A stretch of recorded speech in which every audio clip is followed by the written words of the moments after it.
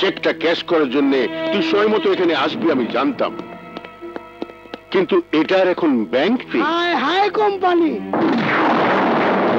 আমি জানি তোর ভালোবাসা আসল কিন্তু আমার চেকটা নকল। এই ঠিকানায় চেকটা কেন দিয়েছি জানিস? জানিস না।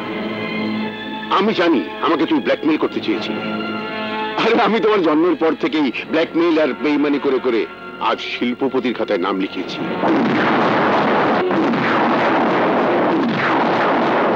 আমি ব্ল্যাকমেল করেছি তোর ভালোবাসাকে। ব্ল্যাকমেল করেছি আমার একমাত্র আদরের মেয়ের ভালোবাসাকে। আমার মেয়ের জীবন থেকে তোকে সরিয়ে দেওয়ার জন্য যে প্ল্যান আমি করেছিলাম সেই প্ল্যান আমার আজ সাকসেসফুল শুনে রাখ, আমার বাইরের চেহারাটা ভদ্রলোকের মতো।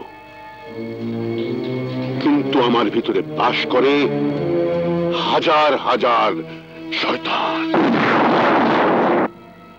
আজ তোকে এখানে কবর দেবো। জিন্দা কবর।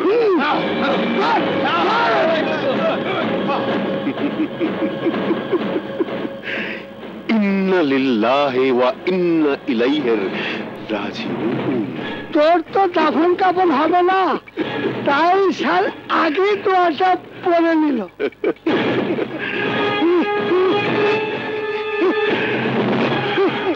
मैं बोला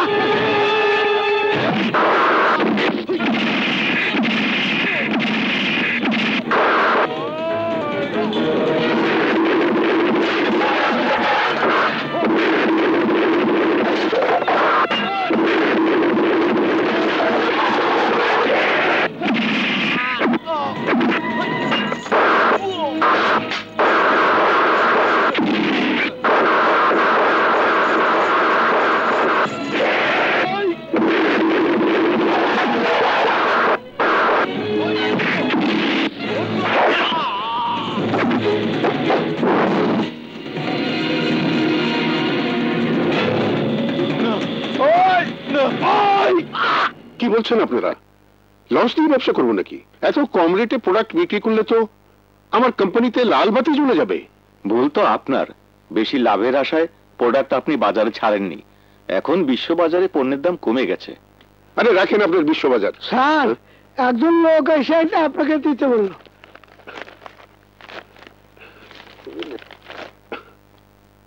কি? সিডি হ্যালো আমি ইনকাম ট্যাক্স অফিস থেকে বলছি। তোমার স্যারকে দাও। জি স্যার। দিচ্ছি। স্যার ইনকাম ট্যাক্স অফিস থেকে আপনার ফোন হ্যালো আমি মারুফ বলছি। কি? তুই এখনও বেঁচে আছিস? টাকাগুলো না নিয়ে আমি মরবো না। এখন আপনি যদি বাঁচতে চান তাহলে যে সিডিটা পাঠিয়েছি সেটা দেখুন।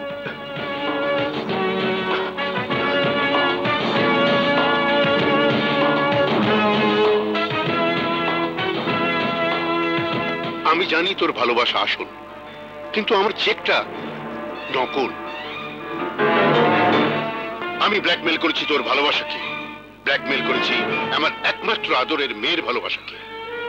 আমার মেয়ের জীবন থেকে তোকে সরিয়ে দেওয়ার জন্য যে প্ল্যান আমি করেছিলাম সেই প্ল্যান আমার আজ সাকসেসফুল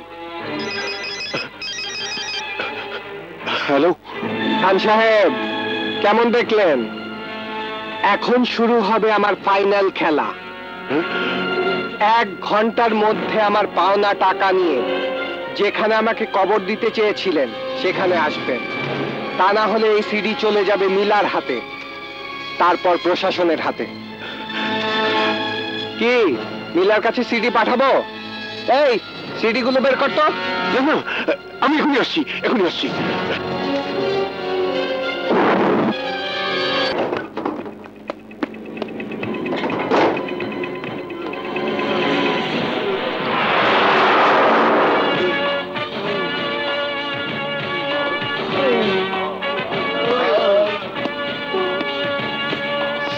সিডিতে নিজের অপকর্ম দেখে আপনি খুব অবাক হয়েছেন, তাই না?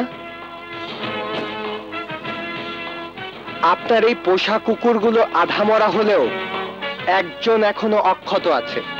সে আপনার শত্রু, কিন্তু আমার বন্ধু। এই তো বলতে বলতে হাজির হয়ে গেছে। ভিডিও করেছে আমার এই বন্ধু। আমি জানি আপনার বাইরের চেহারাটা ভদ্রলোকের মতো হলেও আপনার ভেতরে বাস করে হাজার হাজার শয়তান। আর আমি দেখতে ফুটপাতের রংবাজ মনে হলেও আমার ভেতরে বাস করে সততা আর আদর্শ। যে আদর্শের আঘাতে আপনার ভেতরের শয়তানকে আমি ধ্বংস করে দেব ধ্বংস করে দেব।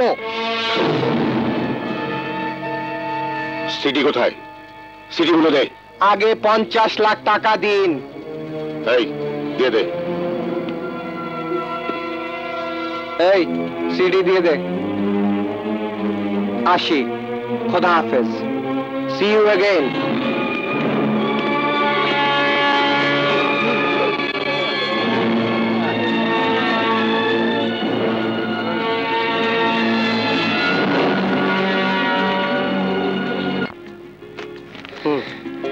মাথার ঘাম পায়ে ফেলে।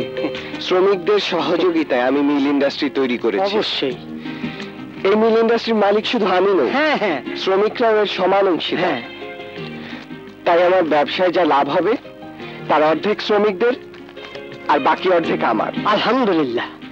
এই টাকাগুলো শ্রমিকদের লাভের টাকা। ওদেরকে বুঝিয়ে দেবেন। যান। মারুফ জিন্দাবাদ। এভাবে দিনের পর দিন মিল যদি বন্ধ থাকে তাহলে আমার লসের পরিমাণ কত হবে? একবার ভেবে দেখেছেন? আর আমি তো রাস্তার ফকির হয়ে যাব। কি করব স্যার? শ্রমিকরা আমাদের মিলের কাজ ছেড়ে দিয়ে মারুফের মিলে গিয়ে কাজ করছে। চুপ করুন। বারবার এই একই কথা শুনতে আমার ভালো লাগে না। নতুন করে শ্রমিক নিয়োগের বিজ্ঞপ্তি দিন। জান দিয়েছি স্যার। পত্রিকায় বিজ্ঞাপন দিয়েছি।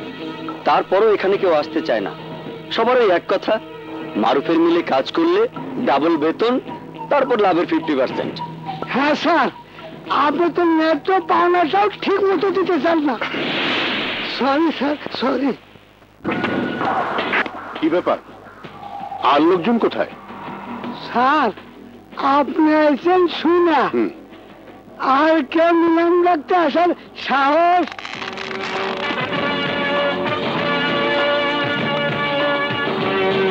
স্যার সাহস আছে।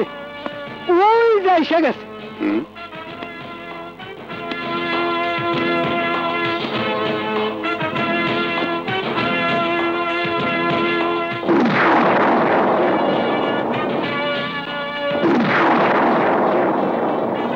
আজ আমরা মোট পঞ্চাশটি গাড়ি নিলামে বিক্রি করার সিদ্ধান্ত নিয়েছি।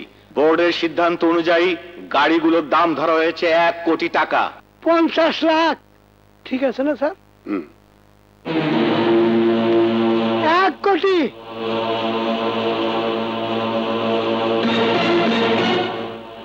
দুই কোটি।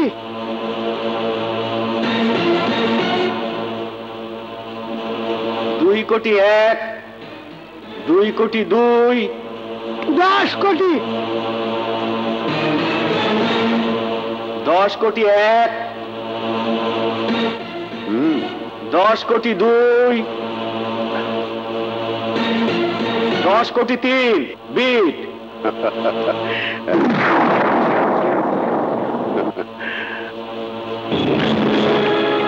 আমি জানি। টাকার অভাবে এখন নতুন গাড়ি কেনার সামর্থ্য আপনার নেই। সেই জন্য ব্যাংকে বাড়ি বন্ধক রেখে আপনি পুরনো গাড়ি কিনতে এসেছেন। আরে, যে গাড়িগুলো লোহালক্ষরের দোকানে ওজনে বিক্রি হওয়ার কথা, সেই গাড়ি কিনে লস করার মতো বোকা আমি নই। লস তো করবেন আপনি। কারণ আপনি একজন বেইমান, বিশ্বাসঘাতক প্রতারক। যারা অন্যের অর্থ সম্পদ প্রতারণা করে লুটে নেয় বেশি দিন তারা সেই অর্থ সম্পদ ভোগ করতে পারে না। তার প্রমাণ আপনি? আমি।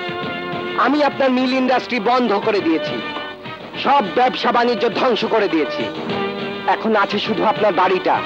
তাও ব্যাংকের কাছে বন্ধক টাকা দিয়ে ব্যাংকের দেনা আপনি শোধ করতে পারবেন না। খুব তাড়াতাড়ি আপনাকে রাস্তায় নামতে হবে। আমি নামাবো আমি। আসি। সি ইউ অ্যাগেন স্যার ওই মারুফের চাল চলন কথাবার্তা শুনে মনে হইতেছে ও আপনার কাছ থেকে মিলাম আমাকে ছিনে আনিব এমনকি আপনাকেও মেরে ফেলব স্যার। না আমি তা কিছুতেই হতে দেব না কিছুতেই না। মারুফকে মারবো আমি। এই খবর লাগা। এই শহরের সবচেয়ে বড় ডিলার কে?